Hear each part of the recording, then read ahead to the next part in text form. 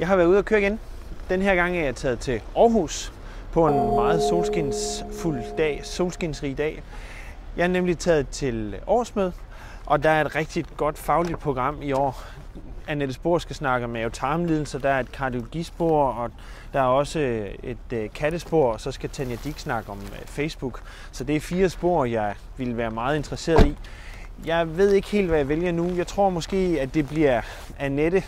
Øh, jeg håber lidt, at vi måske kan lave projekter sammen en gang, men hun er sådan en, alle hiver i fra alle sider, så lad os nu se, hvor, hvor det bærer hen. Så om et øjeblik, så skal vi så derind i Radisson Blue. Det er egentlig helt dejligt at være tilbage i øh, Smiles by. Jeg har boet her for et års, et års tid, øh, lige før jeg startede på at læse. Øh, der startede jeg på at læse kemi af alle ting for at samle point til kvote 2, og jeg var virkelig glad for at være her. Så øh, det er alt for længe siden, jeg har været her. Eller jeg, der er gået alt for lang tid med at komme tilbage, men nu er jeg her i hvert fald i dag til en rigtig, til to spændende faglige dage. Men de var så glade, så de sendte os de der, med de der billeder. Det er jo bare rigtig fedt, når man har før- og efterbilleder. Og det vil jeg også sige til jer. Gør det selv for jeres egen skyld og for kundens skyld. Det, det er smadret sjovt at kunne følge dem.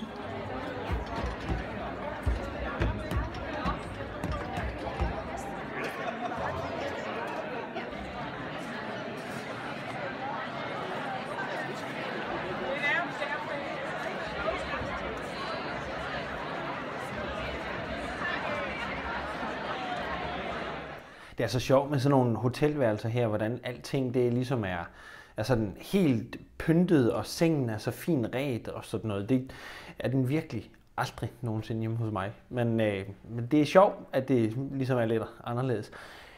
Og så er det godt nok en, en meget sær sport med det der networking, der foregår til sådan nogle kongresser eller årsmøde.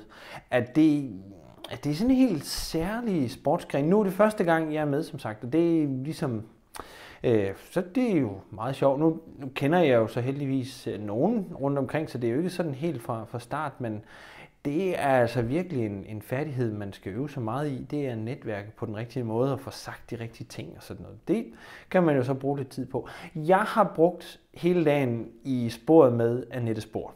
Og det har simpelthen været fantastisk. Altså hun er virkelig en, en meget levende og dygtig øh, foredragsholder, og så kan hun altså bare sit stof.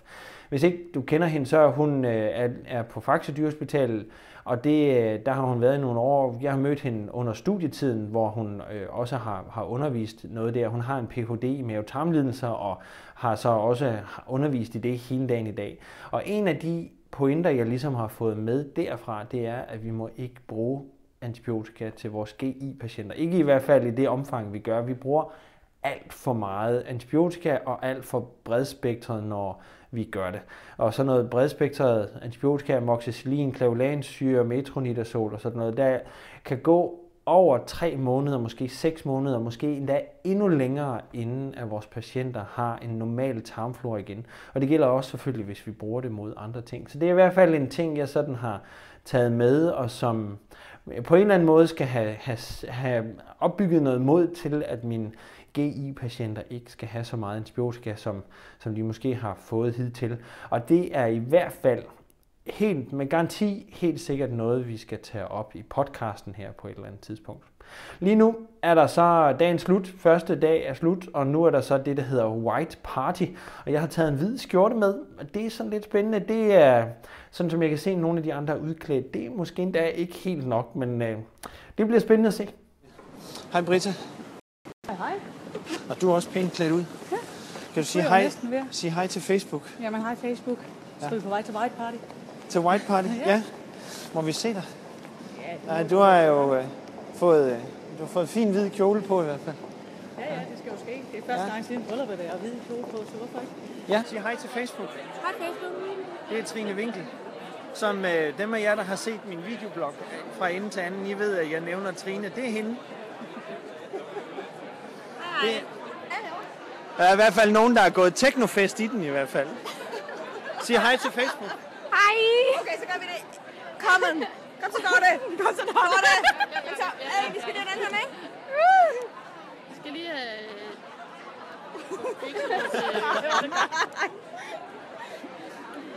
Det er nogle fine øh, udklædninger, I har der. De er svært at drikke ind under næsen. Det er et problem. Ja. Hvad skal jeg gøre? Sig hej til Facebook. Hej Facebook. Jeg er en overlevende kanin fra Bornholm. For Bornholm. Ja, VHD, du ved. Så er, I, øh, du, er, sim- du er simpelthen blevet virussmittet. Ja, prøv at se min ven. Han klarer ikke lige så godt som Åh oh, nej, ja, det kan jeg godt se. Der er, der er gået Pokémon i den der. Og der står så, ja nu bliver det så godt nok lidt spejlvendt, men der står så Bornholms Almost VHD Survivor. Flot hat, du har fået på der. Det er altså ikke en hat. Eller, nej, hvad hedder det Det er jo egentlig? sådan, jeg ved faktisk Ja, ikke. det- Ja, det er en... Det er en tiara lignende ting. Ja, det er jo et hjerte. Egentlig var det... Tiara Ja, hjerte. ja, fordi det er jo hjertet banker for nogle ting. Og hvor ender hun så henne med det? Jamen, det er selvfølgelig rigtigt. Ja, det er det. Til dem af jer, der nu er, det er Facebook Live, vi Nå, hører. det. Så selvfølgelig det er er det til at sige hej til Facebook. Jamen, hej til Facebook og hjerterne derude. Ja, vi Og skal dem af jer, der ikke lige have kender, kender så er det Mette fra, fra podcasten om hjertelidelser, eller hjertemislyd. Ja. Ja, ja, men det her hjerte, det banker fuldstændig, som det skal. Det, det er gennemscannet og i orden. Fuldstændig. Nej, der er faktisk en udtalt metralklap. Det har jeg faktisk, men det lever jeg fint med. Jamen, det tænker på hjerte og på dig. Nå, det der, ja. Ja, det har det fint, ja. Hej Lars. Ej, går du rundt og... Øh, Ja. Sig hej til Facebook. hej Facebook. Det er så Lars Granly fra Københavns Dyrehospital, Annie Kuren. Ja. Og du har også fået hvide skjorte på. Jeg har så godt nok ikke fået de... Øh... Nej, men prøv nu Ja. se her. Øh, hvide tennissokker fandt jeg også. Ah, vi skal lige sige hvide tennissokker. Hvor er vi henne? Der er vi. Hvide tennissokker. Det er bare... I skab siden 80'erne. Ja. Du spiller ikke tennis, så du er nødt til at have, have tennissokkerne på. Nej. Nå, vi løber tør for strøm om et øjeblik, så nu får I lige et overblik, inden at øh, jeg signer af fra årsmødet. Og så må jeg lige finde et, øh, et strømstik, og så, øh, så ses vi nok i morgen.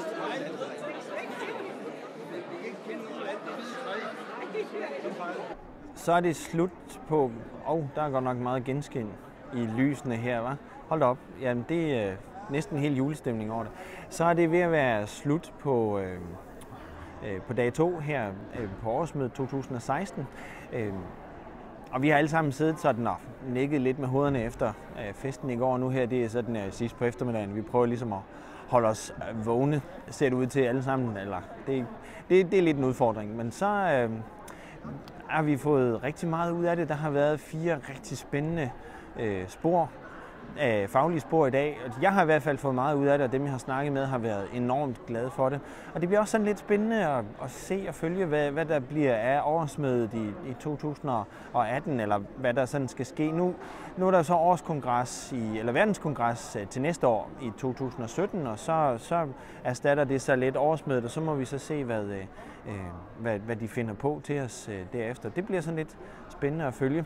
Men øh, lige nu så er vi så ved at, vi skal have det, den sidste øh, runde med lektioner, og så er der så gala middag i aften, og så øh, er det så øh, slut for årsmødet den her gang. Jeg tror, vi lader galamiddagen ligesom øh, passe sig selv, så at, øh, at, at vi kan få lov til at, at te- te os tosset, uden at det sådan bliver optaget på video, men øh, nu får jeg lige øh, den sidste kop kaffe, inden vi skal op og have den sidste lektion, og så giver vi den gas i aften, alt hvad den kan trække, hvad der er tilbage i batterierne, og så er årsmødet slut for i år.